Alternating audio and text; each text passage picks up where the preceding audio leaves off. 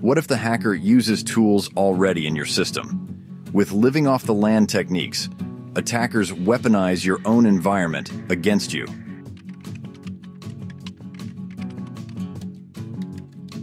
Living off the land means attackers avoid detection by using legitimate tools like PowerShell, WMI, or certutil.exe.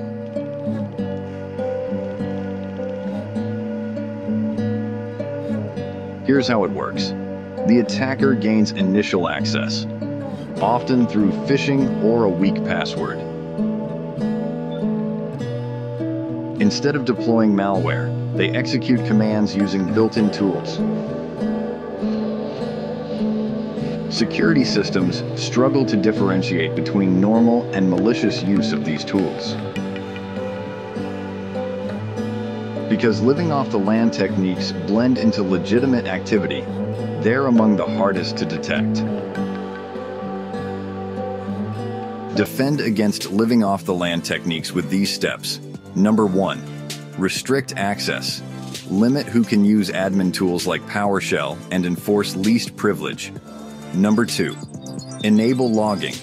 Turn on detailed logging to track and analyze tool usage. Number three, educate employees. Teach teams to recognize phishing attempts. The common entry point.